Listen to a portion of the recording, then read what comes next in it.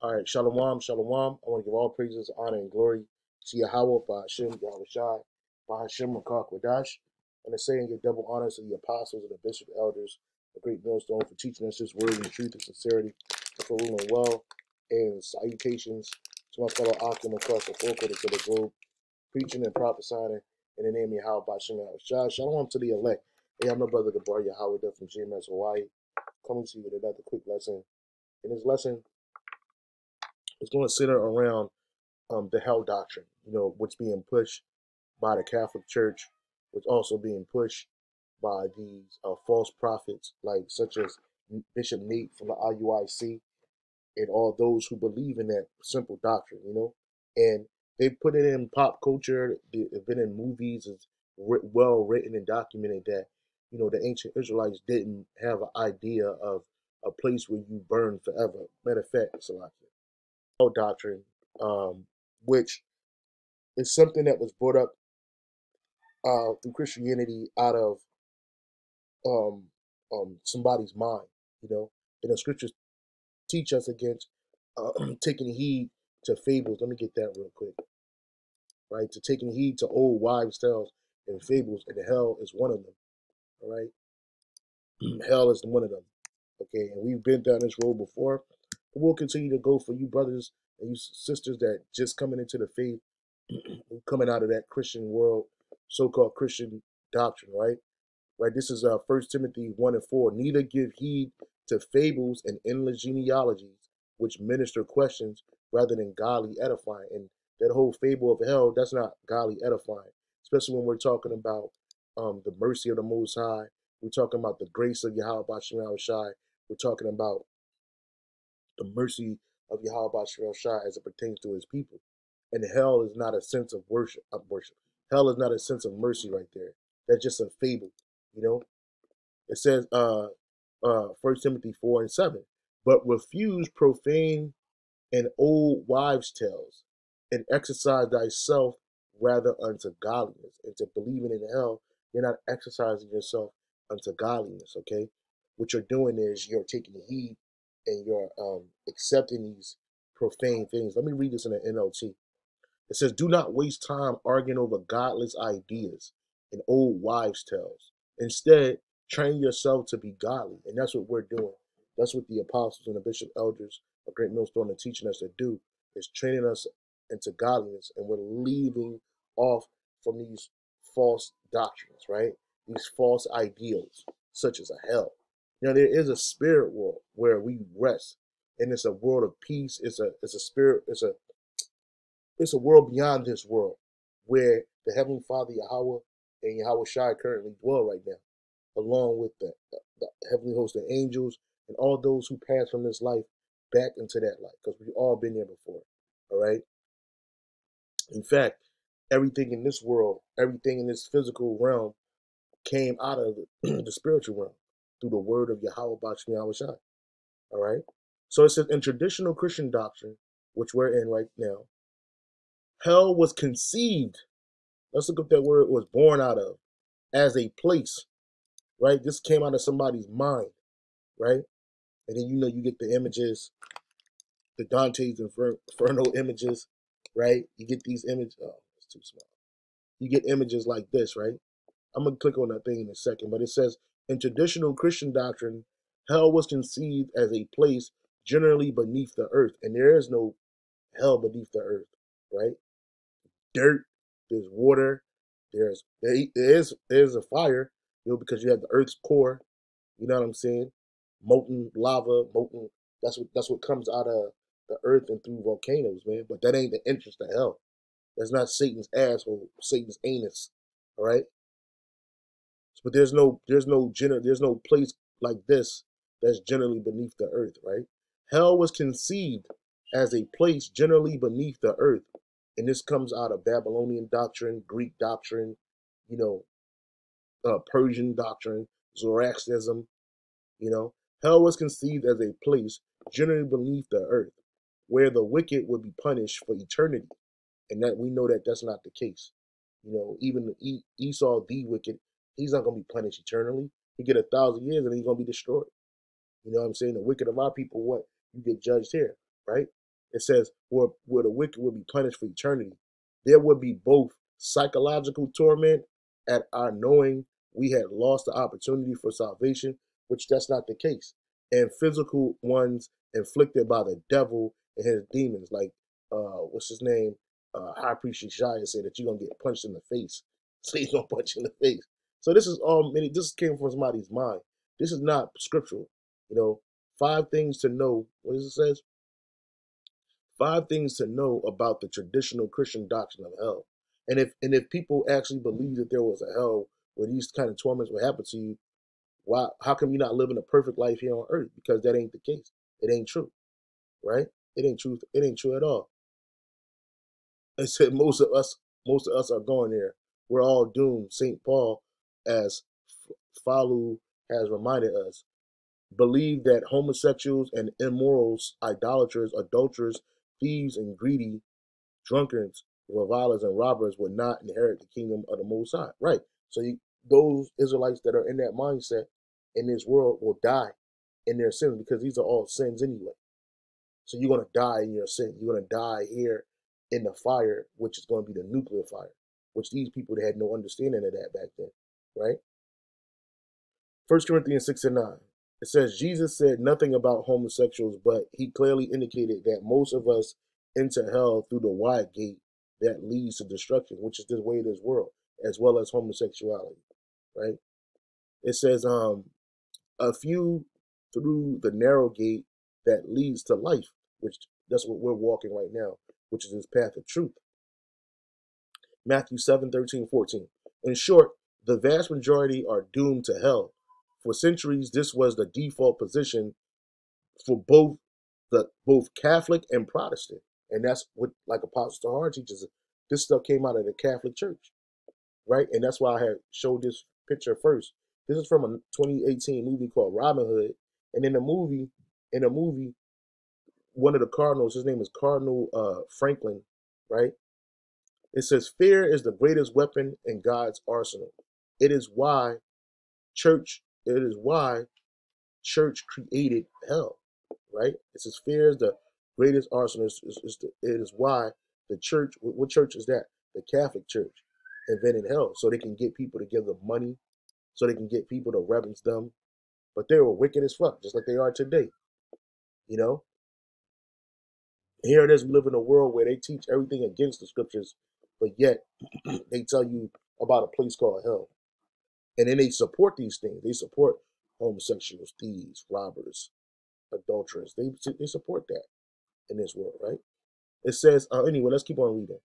It says re- responding to Wilkinson, Ill said rather blandly that the mainstream Christian belief on this is that all of us are born going to hell, and we will end up there if we decline the sacrifice of Jesus Christ on the cross, which no one named Jesus Christ was sacrificed on that cross. His name was Yahweh Shai Hamashiach, eh, which is Hamashiach, a title being anointed. But his name is Yahweh Shai. It says, for modern conservative Protestants, while in principle, God has the final say on who is saved and who is damned. The clear expectation is that only those who are born again have any sort of chance, sort of a chance. And to be born again, you got to be Israelite and be born again and be born in the mind. It has nothing to be, you don't turn your life to somebody named Jesus Christ. That's not it. So in traditional Christian doctrine, hell was conceived as a place generally beneath the earth where the wicked would be punished for eternity. There would be both psychological torment at our knowing we had lost the opportunity for salvation, a physical ones inflicted by the devil and his demons. this is crazy.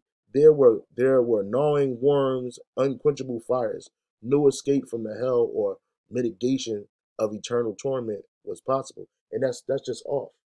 It says the judgment, the decision as to whether we went to heaven or hell was made by God at the time of our deaths, which is a lie. Which is a lie. Everybody goes to the spirit world and rested. The general judgment of all the resurrected dead on the final day of judgment merely confirm God's previous ones. Well, where's the scriptures at? They put scriptures out, but they put no scriptures here. Says, as the greatest Catholic theologian Thomas Aquinas rather elegantly put it, the soul will remain perpetually in whatever last end it is found to have set for itself at the time of death, desiring that state as the most suitable whether good is good or evil. And that's just off. And, it, and, and this is a this is a wives' tale, right? This is a wives' tale, and that's why the Lord told um, Paul and he spoke to Timothy, but refuse profane and old wise fables and, and, and exercise thyself in godliness, right? And that's right. Let's look up that word for wives' tale in the Greek, well, fables, mythos, and that's what it is. Hell is a myth that was contrived, con- conceived out of the mind of a man, some simple simpleton. You know, because our forefathers had no idea of of a place called hell where you burn forever. Well, we do know about the spiritual world, which I'm going to show you, but that word there for fable is mythos, which is a speech or saying, a narrative, a story. It's not a true narrative; it's a fiction, a fable, an invention of falsehood, right? And that's exactly what that is. Is an invention of falsehood, and this is an excerpt from a movie called Robin Hood, right? But I thought it was good because Esau he puts little truths within his movies, right? And it's just a, a fear tactic.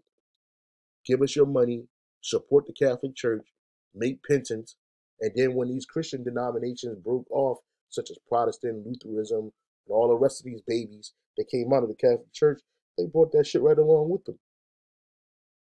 And today, Nate Nathaniel, Bishop Nathaniel of the IUIC, is bringing that into uh, the Israelite doctrine, you know, and he's mucking about. It got you thinking that people going to get resurrected and burned. Oh, it's going to be burning forever, eternity. That's not the case. That's not the case at all. And that fire that is spoken about is the nuclear fire, which he talks about the nuclear fire, but that's the that's the fire, right? And that's not going to last forever. Because remember, America is going to be turned into what? A desert, right? A desert. Is, so I type this up. Did the ancient Jews have any concept of hell? When did the idea of hell as we know it develop? And I, I got this from reddit.com, academic biblical comments, right? It says the concept of hell conflates a number, and let's look up that word for conflate.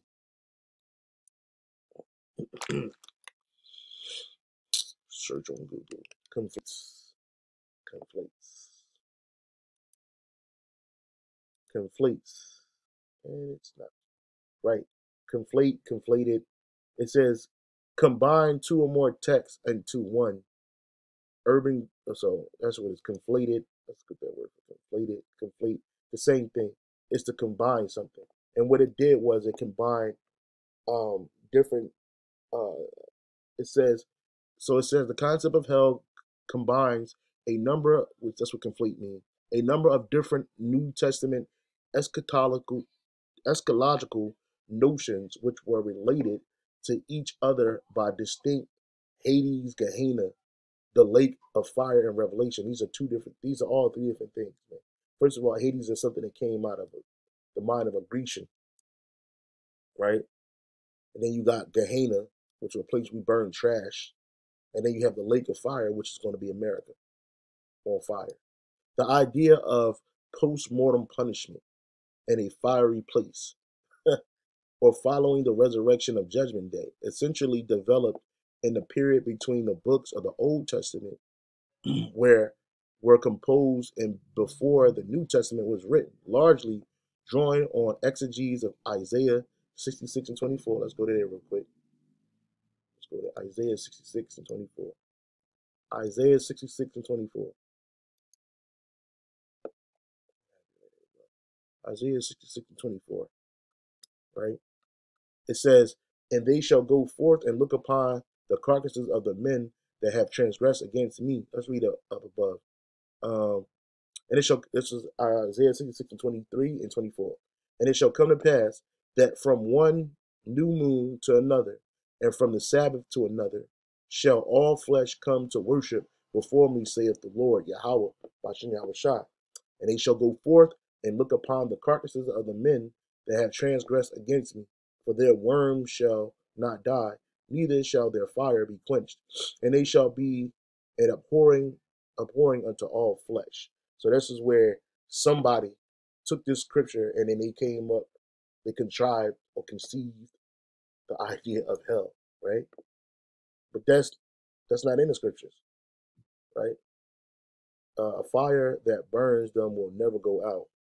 All who pass by will view them with utter horror, right? Anyway, let's go back to this. It says applying it to no longer to corpses, but to souls. So they just added that. It says people raised and people raised to life for judgment who experience torture and fire. I have written up a survey of how this belief developed between the Old Testament here. Um. Right? There was also possible influence from Zoroastrianism, which had a concept of hell as a place of molten metal for the wicked, though the notion is one of purification, the only and temporary and only temporary ordeal. Another influence is the Greek concept of Tartarus, right? Let's look up Tartarus as a dark prison for the Titans, which contributed to the Enochic concept of a gloomy abyss where the fallen angels were imprisoned and tortured with fire. Enoch, what's his one Enoch extended concept, uh, which originally pertained only to the Watchers, to the wicked humans, Jude six and six through six. Jude is one chapter, uh, verse six and seven, which compared an imprisonment of the fallen angels, and that prison is, is the body. It's not. It's not talking about a place where you burn forever. So I'm just looking up the term tart, Tartarus. Uh, Tartarus. Tartarus. A Greek in Greek mythology, Tartarus or ancient Greek, Tartarus is the deep abyss that is used as a dungeon of torment and suffering for wicked as a prison for the Titans. See, and it's a this is all mythology, and this is not true, right? We can read the book of Job, and we can tell you that that's that the wicked don't go to a place where you burn forever, right? This is Job three and eleven. Why did I not? Why died I not? This is Job lamenting. Why did I, Job 3 and 11, why died I not from the womb? Why did I not give up the ghost when I came out of the belly? Why did the knees prevent me? Or why the breast that I should suck? For now should I have lain still and been quiet. Right, a stillbirth. He was, he was, you know, lamenting. Say he'd rather be dead than go through what he was going through. I should have slept. Then had I been at rest. Right, because when you when you die, you so-called die, you're at rest. You're sleeping. That's all. You're sleeping in the spirit world. Meaning that not like you ain't kicked up with a bed and a sheet over your face. No. you your spirit is in the spirit world, resting from all of this. Because this that we live in is really judgment. This is judgment. We're living in judgment right now. You get sick, you get you get hurt, you get maimed, you die a grievous death, you're born retarded. Those are judgments from the Lord, right? for our wickedness in our past lives. Did not um uh who sinned? Let me see if I can find that. I'm gonna come right back to this. Who sinned? Right? Who sinned? Remember that in the New Testament when they were asking Yahushua, who sinned? This man or his uh or his uh or his um or his parents, right? Find that. 9 and 1. It says, Healing the man born blind. And Yahushua passed by and saw a man which was blind from his birth. And his disciples asked him, saying, Master, who did sin, this man or his parents, that he was born blind? So even the disciples understood that this man, that a reason for him being blind was because he had sinned. Wait a minute, but he was born that way, right? So what does that mean? How can a baby sin that was born that way? Well, he or she was here in the previous life. And we know that you could be born blind as a sin. I mean, for you can be born blind as a recompense for a sin or sins you've done in your past lives, right? So we knew that, right? And the disciples asked him, saying, Master, who did sin, this man or his parents, that he was born blind? And we know that you don't suffer for the sins of your parents We know that in the precepts speak about that, that the, the, the son shall not be punished for the sins of the father, and neither the father for the sins of the son. So that means you have to be here before. So they had an understanding of reincarnation. Right? And his disciples asked him, saying, Master, who did sin, this man or his parents, that he was born blind? And Yahweh answered, Neither. So this man wasn't born blind because he sinned, neither was he born blind because his, his parents sinned. No, it was because it was going to be an exercise in the healing of Yahweh Bashem Yahushai, faith, right? Yahushai answered, Neither have this man sinned nor his parents, but that the works of the Most High should be made manifest in him. It's, let me read that in the NLT for you brothers and sisters to understand.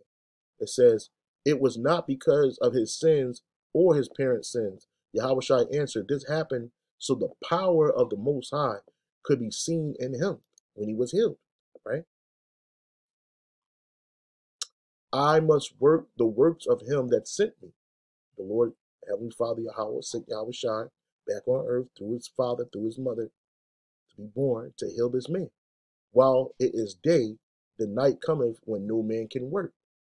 As long as I am in the world, I am the light of the world. That's right, the world of Israel. Right? So let's go back to this. What was I reading? I was reading Job, right? So back in Job, right? So we know that it don't matter what you do in this life, you ain't gonna be you're gonna burn somewhere forever and ever. Now, there's something called the second death and the first death. The first death was fire, a, a slogan. The first death was water, which was the flood, and the second death, the great death, the great judgment, was gonna be through fire, nuclear fire, and chariot fire here in America. It's gonna be con- concentrated here in America. All right and that's that's going to be a great judgment from the Lord, right? Anyway, this is uh Job three thirteen. For now should I have lain still and been quiet, I should have slept. Then had I been at rest with the kings and counselors of the earth, which built desolate places for themselves, or with princes that had gold who filled their houses with silver, or as a hidden untimely birth I had not been born, as infants which never saw, saw light. There the wicked, where is there? The spirit world. There the wicked cease from trouble. So the wicked Esau, he's not troubling us. There the weary are at rest. We're the weary. We're at rest. Both of us rest in the spirit world, the wicked and the righteous. There the prisoners rest together. There, I mean, they hear not the voice of the oppressor. The small and great are there, and the servant is free from his master. And that's the spirit world. Wherefore is light given to him that is in misery, and life unto the bitter soul. You know? So there's another precept. It's Ecclesiastes 12 and 7. Then shall the dust, which is this body, this physical body, is made from elements of the earth. Right? You ever heard the term ashes to ashes, dust to dust? Then shall the dust return to the earth as it was, and the spiritual shall return unto the mo in the spiritual. And the spirit, let me read that again. Then shall the dust return to the earth as it was. And the spirit, which is in our minds, this is, our spirit is here, is, is in our pineal gland, right?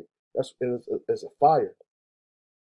That's what keeps you warm. That's what keeps the body hot. You know what I'm saying? That's why as soon as you, you just this body becomes no good as a, a house or a abode for the spirit, it gets cold. The body gets cold immediately. Right? Then shall the dust return to the earth as it was, and the spirit shall return unto the Most High who gave it. Right? So your spirit not going to go to another body and burn in hell and, you know, get tormented by fucking Satan and his demons. That's not the case, bro. Right? That's not the case at all. Judgment is here on earth. This is the book of Ecclesiastes 3 and 16. And moreover, I saw under the sun the place of judgment, What's the place under the sun? The earth. We walking on it right now. This is a place of judgment. And the people that are being judged in mass right now are the Lord's people, the the Israelites. And other other nations go through judgments too. They die, they live, you know, whatever. But this is the place where we're being judged right now. And then when we're in power, these nations are going to be judged. Right? That the time of judgment come. Well, I'm gonna come right back to that. This is the book of Revelation 11 and 18. Because right now, these other nations, they're not being judged the way we're being judged, right? Revelations 11 and 18. Revelation 11 and 18. And the nations were angry, and thy wrath is come, and the time of the dead that they should be judged. Who are the dead? These are the nations, as well as those Israelites that are without this truth, that are wandering out of righteousness. They're in the congregation of the dead. And the nations were angry that the that that and thy wrath has come, in the time of the dead that they should be judged, and that thou shouldest give reward unto thy servants the prophets. This is the reason why we're here again. We're back again to receive our reward, right? Which is salvation, Lord willing. Uh, okay. And then we're going to be first partakers in eternal life because we're going to get those new bodies. But we're going to live here on earth and all the other planets, right? Right? It says that's that's the reward of the prophets. And the saints, who the saints? The Israelites. And them that fear thy name, the elect of Israel, small and great, and shouldest destroy them which destroyed the earth, which is Esau Edom. Okay? So this is judgment. This is a place of judgment. And more, uh, Ecclesiastes 3 and 16. Moreover, I saw under the sun a place of judgment, that wickedness was there. Excuse me. In a place of righteousness, that iniquity was there. Let me skip down. Verse 21.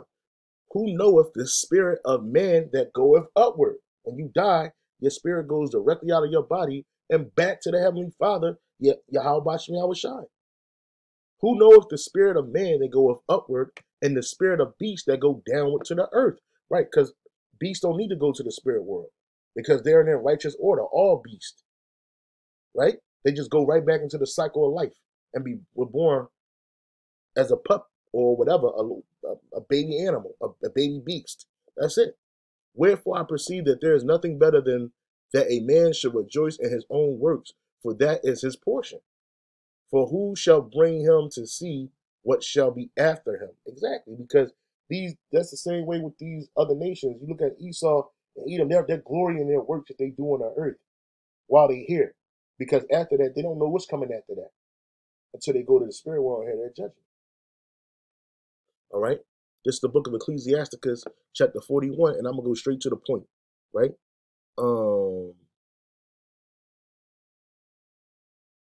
uh, uh I'll start it's three and four right? Ecclesiasticus 41 and 3 and 4. Fear not the sentence of death, right? And that's what the Christian and Catholic Church have put in the minds of the people to fear death.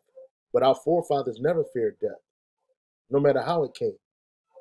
Right? Look at Saul. He he he was he he he was ready to die because he talked to Samuel from the spirit world via that witch of Endor, and, he, and Samuel told him, "Hey, you and your sons are going to join me. Now, was Samuel in hell burning? No, he was in the spirit world. He asked him, why you disquieting me? He was like, well, because the Lord ain't dealing with me no more, and I want to know if we're going to beat the Philistines. He's like, look, man, that ain't your business, because you about to join me in the spirit world. Okay? So our forefathers didn't fear death. King David didn't fear death. King Solomon didn't fear death. Yahweh didn't fear death. He conquered death. Right? Our forefather uh, Abraham, Isaac, and Jacob, never, none of them feared death. They prepared for it. Right? They blessed their sons before they died. They ain't worried about hell. And they didn't live, they all three of them men didn't live perfect lives, man. So what, what happened to them? Did they burn in hell? No. So the scripture tells us, fear not the sentence of death. Again, this is what the Catholic Church and the Christian doctrine teaches you to fear death by giving you this idea of a place called um a place called hell, man. Fear is the greatest weapon in God's arsenal. It is why the, it's why church the church created hell. And this is a scene from that 2018 Robin Hood movie, man. You know? And that's that's exactly what that is, man. This this devil don't he don't fear hell. Because if he did, why he do all his madness on the earth? He don't fear a place where he gonna burn forever. Because he know that that's a myth a mythological place. That's that's not right. Fear not, Ecclesiasticus 41 and 3, fear not the sentence of death.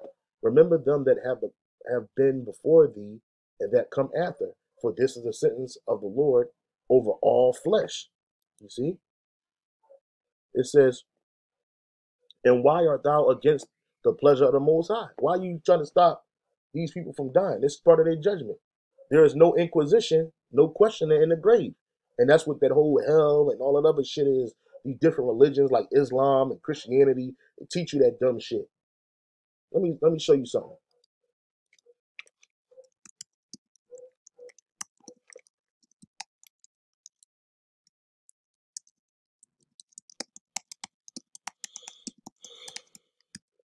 Look at this. Listen to this. I asked, what happens to Muslims? Uh, what happens to Muslims in the grave after death? After burial, each person is interrogated. this is Islam. This is what they teach in Islam. After, and I remember this because my uh my uncle he was a Muslim when he died, and my cousin, one of my cousins, we was in a car driving home or whatever, and um he was saying all this shit. I was like, and even back then I didn't that shit didn't sound believable, right? It says after the burial, each person is interrogated in the grave by two angels called Munkar and Nakir, Nakir, appointed by God to question the dead in order to test their faith. The righteous believers answer correctly and live in peace and comfort, while the sinners and disbelievers fell and punishment ensues. You see this? This is this, and this is what the Muslims believe: punishment of the grave. Uh, what happens to Christians at the death? That's the,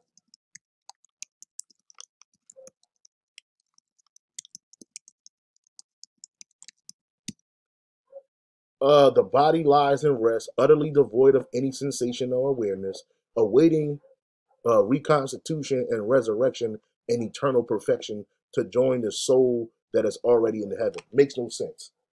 But the soul never sleeps. It enters the very presence of the Lord at the moment of death. You see?